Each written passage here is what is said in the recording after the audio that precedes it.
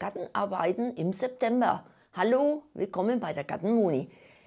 Ich habe wieder einiges zusammengestellt für euch, ein paar Hinweise, was man so im September alles im Garten macht.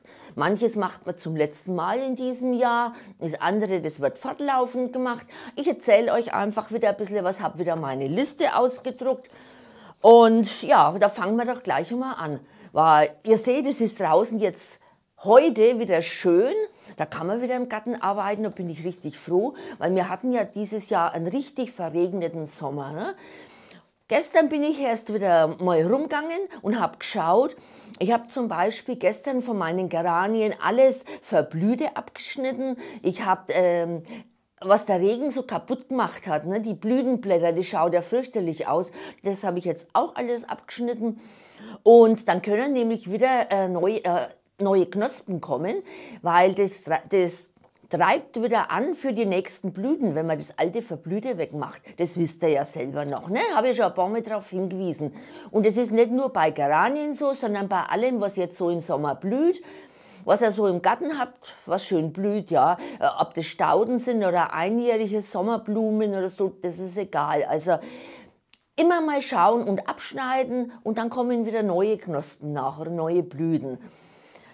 Äh, was ich auch noch geschaut habe, außer dem Verblüten, was ich auch jetzt nachher noch weitermache, das ist, ähm, was runterfällt, oft einmal Blätter und so, oh, dass die, die fangen bei dem Wetter, bei dem Regen, was wir jetzt gehabt haben, fangen die oftmals zum, zum Schimmeln an oder werden so faul.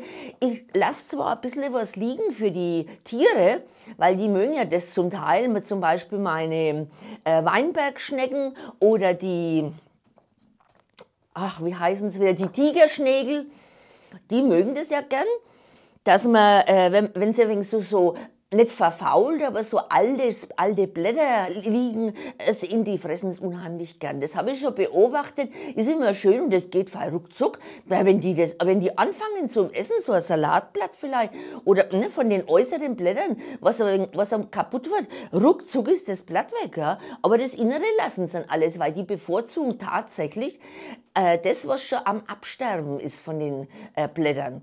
Und deswegen lasse ich das, äh, also einen Teil davon liegen. Aber einen großen Teil tue ich weg, weil ich will ja nicht, dass durch den Schimmel und so, dass da Krankheiten entstehen.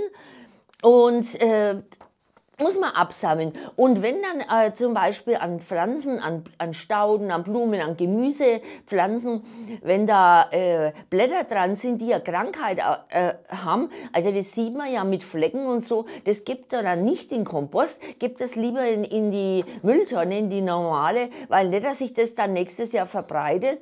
Man weiß ja nicht, ne? lieber vorsichtig sein. So, was man jetzt noch machen kann, das sind Wintersteckzwiebelpflanzen oder Stecken. Ja? Ähm, die Wintersteckzwiebel, die bleiben ja den Winter über drüber, äh, drin in der Erde. Und äh, die wachsen dann meist erst im Frühjahr so richtig. Die fangen zwar jetzt an zum Wachsen, ne, die Wurzeln an und dann wird das Grüne kommt schon ein bisschen raus und dann hören die ein auf zum Wachsen im Winter über. Es ist gut, wenn man ein paar Zweichle drüber gibt oder ne, so Reisig aber sonst braucht man da nichts machen. Und im Frühjahr dann, sobald es ein bisschen warm wird, nicht im Frühjahr, im Winter schon, wenn es warm wird, Februar, März, da fangen die an zum Wachsen. Und im April, Mai kann man da schon die ersten äh, Winterzwiebeln, kann man sagen, äh, kann man ernten. Und die sind immer recht gut. Ich habe jetzt heuer keine, oder ich tue jetzt heuer keine rein und auch letztes Jahr habe ich keine mehr rein. Aber vielleicht mache ich das nächstes Jahr wieder. Was man jetzt pflanzen kann, das ist auch äh, Knoblauch, dann Rhabarber. Pflanzt man jetzt um die Zeit, September, da wächst dann nämlich am besten an. Das, das mache am liebsten der Rhabarber. Äh, um im Herbst gepflanzt zu werden. Man, äh, wer einen großen Rhabarber hat und will den einmal teilen, jetzt ist die beste Gelegenheit dazu, September, da müsst ihr das machen. Aber ihr wisst ja, ne, der Rhabarber, der hat ja Wurzeln. Also wenn, dann muss man das mit einem Spaten ähm, abstechen. Vielleicht äh, ist es besser, wenn es ein Mann macht, ne? weil es ist ja oft so, also mir ist es schon mal passiert, dass mir der Spaten abgerutscht ist an so einer Wurzel. Es war jetzt nicht Rhabarber, das war was anderes, aber der ist abgerutscht und ich habe mich dann so verletzt, dass ich die Hand zig, zig Wochen in Gips hatte und musste dann doch operiert werden. Also dann seid ein bisschen vorsichtig, lieber ein bisschen abwarten, bis der Mann Zeit hat. Ne? ja, ich, ich spreche aus Erfahrung. Äh, Kräuter, mehrjährige Kräuter kann man jetzt auch schön pflanzen. Äh, meistens hat man ja diese äh, Einjährigen drin oder oft, aber auch mehrjährige. Wie ich habe jetzt zum Beispiel Oregano drin, den habe ich schon drei Jahre drin und der wächst, den lasse ich auch stehen, der, der treibt immer wieder. Dann habe ich noch einen Majoran drin, der auch immer wieder treibt. Thymian, der kommt jedes Jahr. Ja, und es gibt äh, Rosmarin, ja, Rosmarin, Winter hat er. Äh, das kann man jetzt alles pflanzen, ne?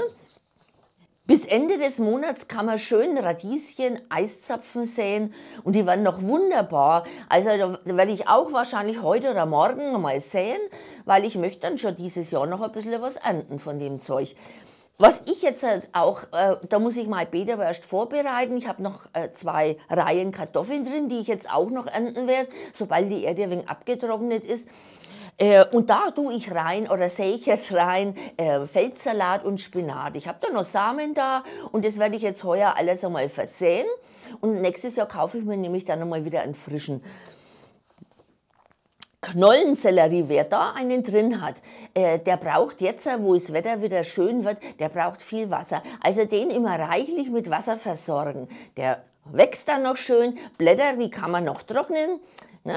Ihr wisst ja, kann man äh, gut im Winter dann nehmen, die Stiele in Braten mit rein oder in die, in die Suppe und dann, äh, wenn die Suppe fertig ist, dann rausfischen und dann ist der Geschmack drin. Also das ist was Wunderbares, da braucht man nichts wegwerfen um den, wer ein Porre drin hat. Ich habe jetzt dieses Jahr mal keinen rein und wer den drin hat, den häufelt man immer noch ein bisschen an, weil durch das Angehäufelte ist dann der, der Schaft ja unter der Erde und da, da ist er schön weiß, der Porre. Und alles, was im Freien ist oder am Licht ist, das wird er dann grün. Und das kann man halt nicht mehr so schön verwenden. Man verwendet schon noch, klar, aber nicht so wie, ähm, wie jetzt das Weiße. Das ist ja eigentlich das Beste mit. Ne?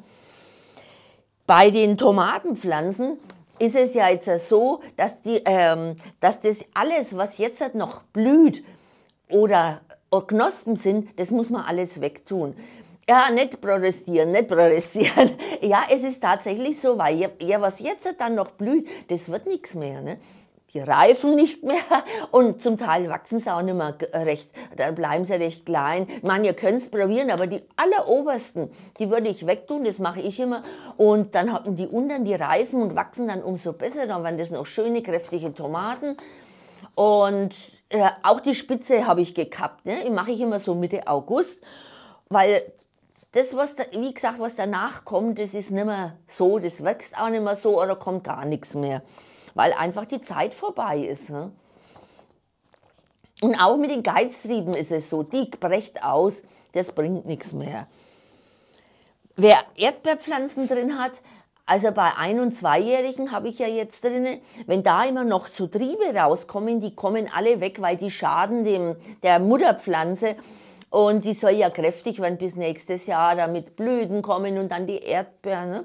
Also das, die sollte man wegtun und auch immer die äußeren großen Blätter immer wegschneiden. Weil die brauchen wir jetzt nicht mehr. Und dann äh, natürlich auch nochmal düngen, weil die brauchen Nahrung, dass sie ansetzen können, äh, ansetzen können für die neuen Blüten. Ähm, mit dem Obst ist es so, was jetzt erntereif ist, alles, das ist so, was an den Bäumen ist. Es werden, es werden äh, erntereif die Äpfel, die Birnen, äh, die Zwetschgen und Pflaumen, das wird alles äh, erntereif. Himbeeren, das ist ja sowieso laufend. Also ich habe nicht viel Himbeeren drin, immer nur so zum Runternaschen.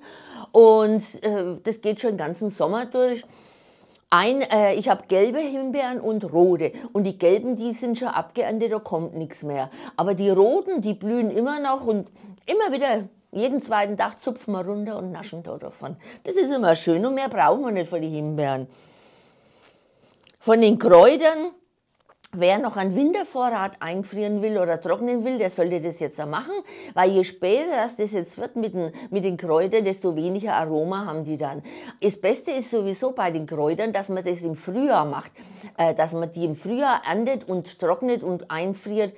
das ist eben am besten, weil da ist Aroma am besten ist. Ne? Aber jetzt geht es noch genauso und macht es jetzt noch, weil wenn es noch kälter wird, dann ist das Aroma weg. Oder nicht mehr so stark. Wer noch Speisezwiebeln im äh, Garten hat und die wachsen noch, sind die, ist das Grün noch senkrecht nach oben, äh, der sollte jetzt vielleicht das Laub umknicken und dann liegen lassen, dass die abtrocknen, ne? dass sie das eintrocknet, das Grüne. Und äh, so, so hat man es früher auch immer gemacht. Oder äh, da, wo die Zwiebeln angebaut wurden, da sehe ich das jedes Mal, wenn ich dort durchfahre. Das wird umgeknickt und dann bleibt es noch liegen. Und wenn die dann braun werden, dann kommen die raus. Und dann kann man sie schön aufhängen, ne? kann man so zusammenbinden. Man kann es auch als Zopf machen. Und so flechten, schaut immer schön aus, das habe ich früher immer gemacht. Und äh, ja, und dann muss man sie natürlich richtig schön abtrocknen la äh, lassen, wenn man sie lagern will. Ne? Weil wenn sie nicht richtig trocken sind, dann können die auch im Winter zum Faulen anfangen. Hochsaison zum Ernten ist natürlich noch Kohlrabis, die Tomaten, Gurken. Wobei ich sagen muss, ich habe Tomaten fast alle weg, weil das sind die meisten dieses Jahr kaputt worden. Die Gurken, äh, wer noch welche drin hat, da, da gibt's auch noch viele dran. Ne?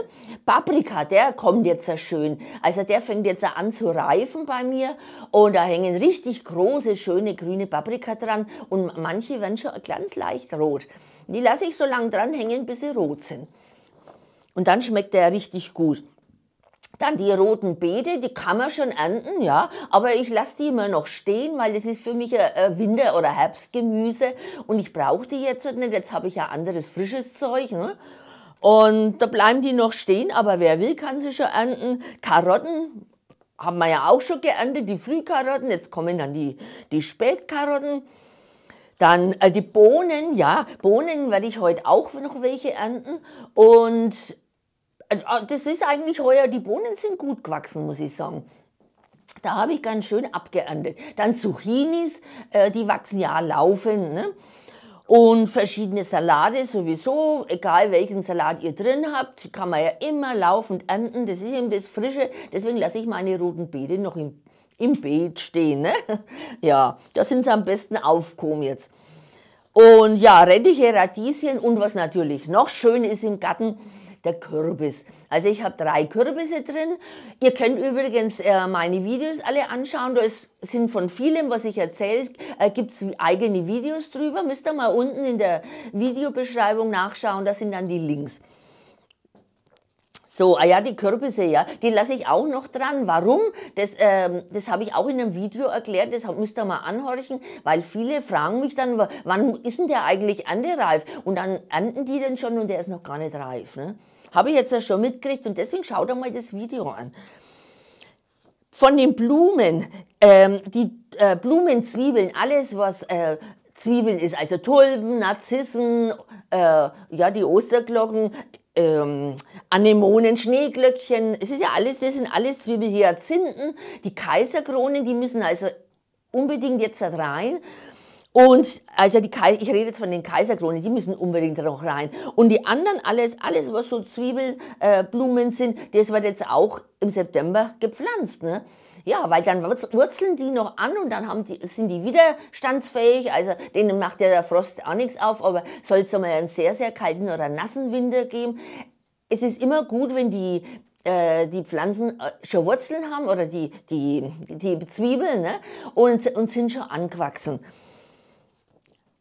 von den Herbstblumen, da sind ja, gibt's ja jetzt einige, was wir draußen haben, angefangen von den Dahlien und den Chrysanthemen, von den Herbstastern und so. Alles, was so leicht umkippen kann, bitte immer an, äh, anbinden, steckt einfach einen Stab oder was in die Erde und, und bindet es da an. Es ist schade, wenn die umkippen, und es bricht was ab. Ne? Also das finde ich immer schade. Man tut es zwar dann in die Vase, nach innen rein, die Blumen, aber draußen ist doch viel schöner, wenn man das sieht. Ich tue selten Blumen oder fast nie äh, Blumen vom Garten rein, weil ist mir zu schade. Draußen halten sie auch viel länger. Ne? Und wenn ich rausschaue und ich sehe das, und gerade jetzt, wo es schönes Wetter ist, wieder die nächsten Tage, das wäre doch wunderbar.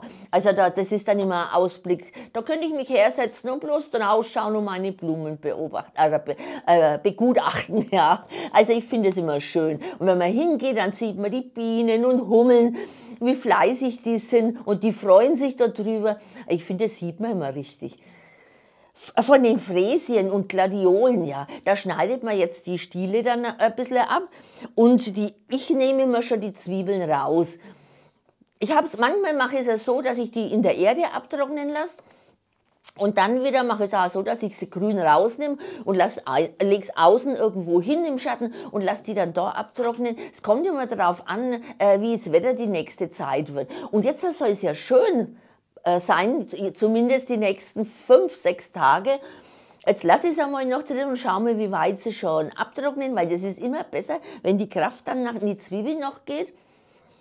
Ja, und dann, aber die Stiele, die, die Blütenstiele, ne, die, die verblühen, die schneide ich raus. Die Blätter lasse ich dran. Die Geranien und Fuchsien, da kann man ja jetzt ähm, Ableger so schön machen davon. Also ich habe schon angefangen, ich habe schon ein paar gemacht, weil ich habe also Geranienstücke, zwei Stück will ich jetzt, ja, dieses Jahr wahrscheinlich weg tun. Jetzt habe ich ja irgendwas da, Entschuldigung. Äh, die will ich wahrscheinlich weg tun, die sind mir zu groß. Und der eine davon, der hat so, so kleine gefüllte äh, Blüten und, und die, die sind nacheinander, sind da lauter kleine Blüten dran. Das schaut aus, wenn man die äh, anschaut wie, wie Rosen. Also ich habe mal ein Foto gemacht, äh, das schaut aus wie ein Rosenstrauß. Ne? Wenn man da nicht sieht, dass unten nur ein Stiel ist. Schaut wunderbar aus. Aber je größer der wird, habe ich gemerkt, desto weniger Blüten kriegt er. Und dann habe ich letztes Jahr schon Ableger davon gemacht. Und der Blu äh, der, die Garanie, die ist auch schon wieder ein ganzes Stück groß, die blüht kräftig. Also ist das für mich ein Beweis, je älter das die Garanie, also speziell jetzt die Garanie, Je älter die wird, desto weniger Blüten kriegt sie. Ne? Und deswegen mache ich da jetzt auch noch ein paar Ableger. Und auch von den anderen. Und ebenso von Fuchsien kann man das jetzt so schön machen. Und was halt, was man so hat, ich ja ein fleißiges Lieschen, habe ich ja auch jetzt äh, angefangen, mal Ableger zu machen. Äh, bis jetzt ist noch keine Wurzel dran, aber es schaut aus, als wenn schon was kommen würde. Und wenn es soweit ist, dann mache ich nochmal ein Video, dass ihr das seht, ja? weil die kann man nämlich auch selber vermehren. Man kann es auch sehen, das ist klar. Ne? Im September und Oktober, ja, da mäht man ja immer noch in Rasen. Ich muss meinen übrigens auch mähen, habe ich gesehen, aber der ist noch patschnass. Nachts ist halt doch immer jetzt sehr nass. Die Luftfeuchtigkeit ist so hoch und kann ihn jetzt halt nicht mähen. Aber äh, wenn ich ihn mähe, nimmer so kurz machen. Es, also es soll halt schon, ich sage mal, weiß nicht, wie viele Zentimeter sind immer eingestellt. Ich glaube fünf oder drei. Also nicht zu kurz machen. Und man kann dann auch noch einmal düngen, wenn man will. Ich habe jetzt im August schon einmal gedüngt. Da hat es nämlich kräftig geregnet. Da habe ich da mal einen Rasendünger drauf gehauen und mache das jetzt dann dieses Jahr nicht mehr. Ne? Wer, äh, äh, wer verblühte ältere Stauden hat, also äh, was, was ist ein Flocks zum Beispiel? Der verblüht so langsam und wer den verkleinern will, da ist jetzt dann auch die beste Gelegenheit im, so im September dass man die teilt und verjüngt. Ne? Und so ist es auch mit, andere, mit anderen Stauden. Und, äh, gibt ja noch mehr, was schon verblüht hat. Und so kann man das machen. Wie, aber wie die fette Henne, das ähm, mache ich nächstes Jahr im Frühjahr erst. Weil wenn die verblüht ist, die fette Henne, lasse ich dann die Blüten dran für die Vögel wieder. Die, denen fällt es auch wieder, wenn sie da dann einen Samen rauspicken können ne? von den Blüten. Und ja, habe ich glaube ich schon gesagt, von den Blumen alles Verwelkte und Verblühte abschneiden. Äh, es fault ja auch sonst dran. Ne? Und außerdem regt es die, neue, die neuen Blüten an. Und an den Obstbäumen, ja, die Obstbäume, da haben wir auch extra Video, was man jetzt dann schneidet. November reicht's locker, ne? Welche Bäume schneidet man im Herbst und welche schneidet man im Frühjahr? Da gibt's ein Video drüber, schaut es einmal an. Ähm, wer leere Beete hat, der kann äh, auf die leeren Beete Gründüngung äh, aufsehen. Wenn die dann aufgegangen ist und ist ein Stück gewachsen, kann man die nämlich schön wieder einstechen und das ist dann eine Düngung für die Erde. Das geht wunderbar. Vielleicht mache ich da auch Heuerbeet. Ich mache das eigentlich jedes Jahr, aber das ist mir jetzt ganz aus dem Kopf gekommen. Jetzt erst wieder. Deswegen sage ich euch das alles immer wieder. Ne? Das wiederholt sich zwar jedes Jahr, aber man denkt oft dann einmal nicht dran. Und das werde ich auch wieder machen, wenigstens ein Beet, wo jetzt noch keine Gründüngung drin war. Und das steche ich dann ein. Im, äh, das reicht ja im November, wenn man das einsticht, oder im Dezember, wenn schönes Wetter ist und man kann nur umstechen.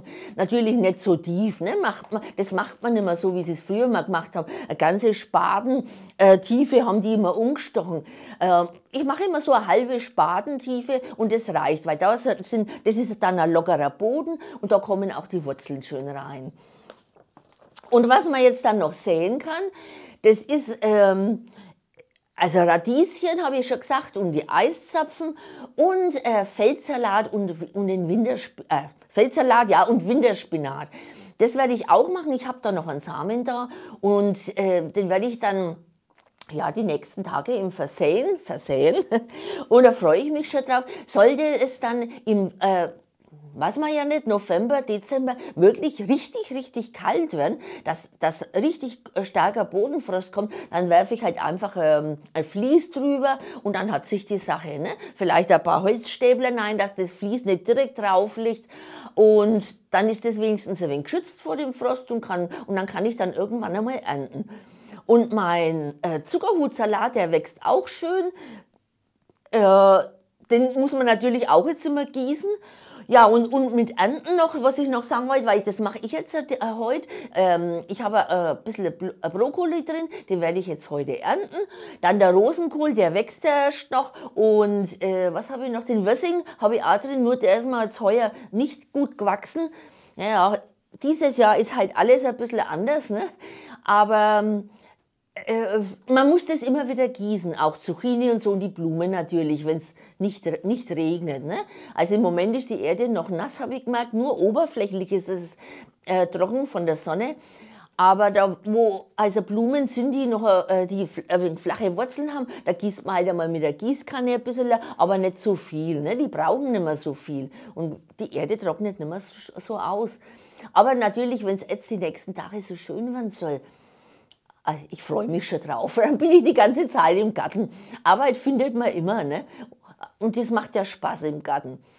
Wenn ihr noch äh, ja, Tipps habt, was man noch machen könnt oder was ihr überhaupt im Garten noch macht, dann könnt ihr das in den Kommentaren schreiben. Ich äh, wüsste jetzt eigentlich für den September nichts. Ich hoffe, ich hoffe, dass das ein schöner September wird und auch ein schöner Oktober. Ne? Weil wir schon keinen schönen äh, äh, Sommer gehabt haben. Ja, und äh, das, dann wollen wir doch das auch noch ein bisschen ausnutzen, dass wir noch im Garten sind, können wir grillen und, und ein bisschen Sonne, ein bisschen in der Sonne sitzen, einmal einen Kaffee trinken. Ja, ich trinke ja viel Kaffee, ne, das wisst ihr ja. Und ja, ich freue mich drauf auf die nächsten Tage und hoffe, das ist bei euch genauso schön, das Wetter. Ich wünsche es euch. Wenn euch das Video gefallen hat, meine Tipps hilfreich waren für euch, dann freue ich mich über einen Daumen nach oben, abonniert meinen Kanal und aktiviert die Glocke fürs nächste Video. Wer meinen Kanal unterstützen will, kann in meinem Shop vorbeischauen und bis morgen. Tschüss, eure Gartenmoni. Tschüss.